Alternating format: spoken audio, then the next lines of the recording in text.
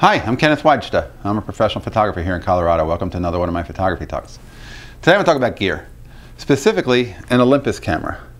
So this is the mighty and the very valuable Olympus OM3, which is a treat to me because a friend of mine I've known for years used to work at a newspaper, used to work at weekly newspapers back in the day. I didn't know him then.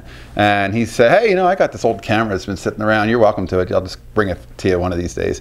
And then one day he shows up and it's an Olympus OM3, which if you're not familiar, they made the OM1, which was a legendary smallish camera, a great finder, great viewfinder, all mechanical, didn't need a battery except for the meter. The, F, the uh, OM2, which succeeded it, which had some automatic modes, and then the OM3, which had spot metering, and the OM4, which had spot metering. But the difference was the OM4 was completely battery dependent, and this one is not.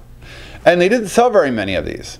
And so this is like a cult camera. People are like, oh, all over the internet and paying huge numbers for this. And I put a raw of HP5 in it. The battery died in it that I put in it, so I'm not sure if it's draining the battery or if it was a weak battery when I put it in, but I just use it with Sunny 16. You know, my rule of thumb for any kind of black and white film camera is I can guess exposure with Sunny 16 and inside shoot wide open as slow as you dare. That's kind of like my rule of thumb.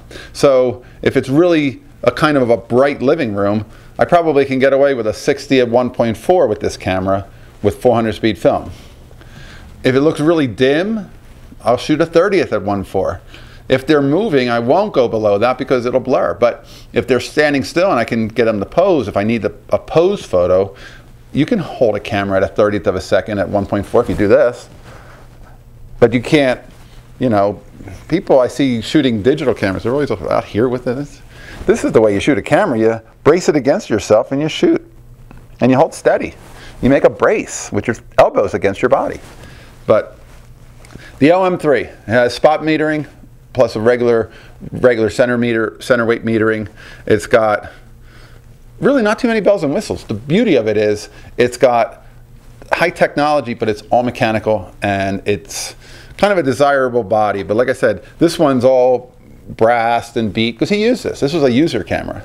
He didn't buy this to collect it. He used this to use it for the newspaper he worked for, and it was kind of unwanted at some point, and he gave it to me. And it's one of those cameras I enjoy taking out and just adding, you know, another experience of shooting a camera that is really a well-made, beautiful camera, and it doesn't let you down because it's one of those cameras that has, without any need for a battery, it'll all keep shooting. So I love that about it. I have a 51.4 on it.